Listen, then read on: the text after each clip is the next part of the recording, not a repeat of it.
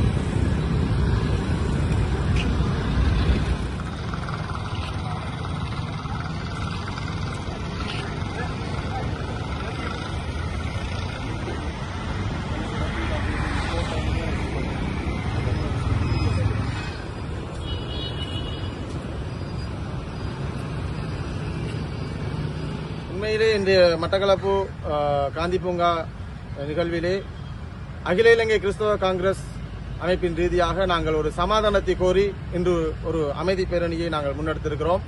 உங்களுக்கு தெரியும் இஸ்ரேல் பாலஸ்தீனம் யுத்தம் என்பது தொடர்ந்து வரலாற்றிலே இடம் பிடித்துக் கொண்டிருக்கிறது. இரு தரப்பினர்களும் பல யுத்தங்களை செய்து கொண்டிருக்கிறார்கள்.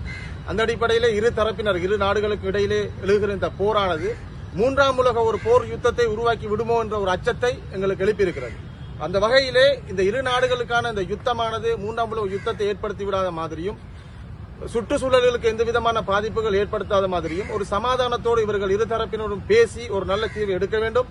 என்னென்றால் பாலஸ்தீன் பகுதியிலையும் காசா பகுதிகளிலும் இஸ்ரேல் பகுதிகளிலும் இருதரப்பு மக்கள் பொதுமக்கள் அப்பாவி மக்கள் சிறுவர்கள் இன்று கொன்று அளிக்கப்படுகிறதை நாங்கள் ஊடகங்கள் கூட காணப்படுகிறது. ஆகவே இரு பக்கமும் எந்த வகையான தீர்ப்பை கதைத்து தீர்மானத்தை எடுக்க முடியுமோ அந்த தீர்மானத்தை அவர்கள் எடுத்து சமாதானத்தை உண்டு பண்ண வேண்டும். இஸ்ரேல் பாலஸ்தீன யுத்தம் முடிவுக்கு வரும்படியாக அதாவது இந்த இரண்டு நாடுகளுக்கு இடையிலான யுத்தம் முடிவுக்கு வரும்படியாகவும் சர்வதேச நாடுகள் ஆயுதங்களை மட்டும் வழங்காமல் இந்த சர்வதேச நாடுகள் ஆயுதங்களை கொடுப்பதை நிறுத்திவிட்டு ஒரு சமாதானமான ஒரு உடன்படிக்கைக்கு வருவதற்கு இந்த சர்வதேச நாடு உதவ வேண்டும் என்பதையும் இந்த நேரத்தில் நாங்கள் கேட்டுக்கொள்கிறோம். இந்த யுத்தமானது தொடர்ந்து இப்படியே நடக்குமாக இருந்தால் இது எந்த அளவுக்கு இந்த யுத்தம் அஹ், பெருக்கெடுத்து ஓடும் என்பதை நாங்கள் கருத்தில் கொண்டுதான் இந்த அமைதி பேரணியை நாங்கள் கொண்டு வந்திருக்கிறோம். அது மட்டுமல்லாமல் இந்த உலகத்தில் அநேகமான கிறிஸ்தவ மக்களும் வாழ்கிறார்கள் இஸ்லாமிய மக்களும் வாழ்கிறார்கள். அந்த அடிப்படையில் நாங்கள் இலங்கை தேசத்திலிருந்து நாங்கள் இரு த- இரு நாடுகளுக்கும் சமாதானம் வரும்படியாகத்தான் இந்த நிகழ்வை நகர்த்தியிருக்கிறோம்.